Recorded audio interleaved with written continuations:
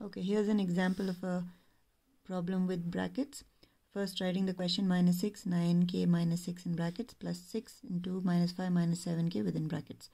Uh, double check the question, it's okay.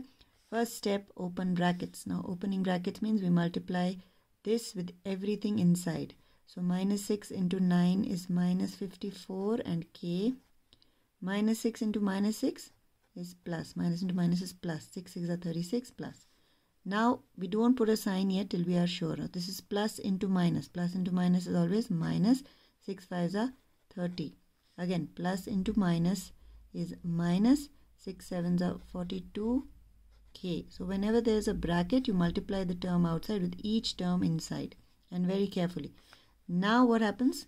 Now we have four terms. We need to put the like terms together. So like terms are here is a k variable k bring the first one together minus 54k bring the k next to this minus 42k then we have a number plus 36 minus 30 so our constants come at the end.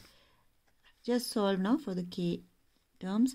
Minus 54 minus 42 this is more minus minus 96 50 40 90 4 into 6 and k plus 36 minus 30 difference of the two 6 bigger sign there you go. This is your answer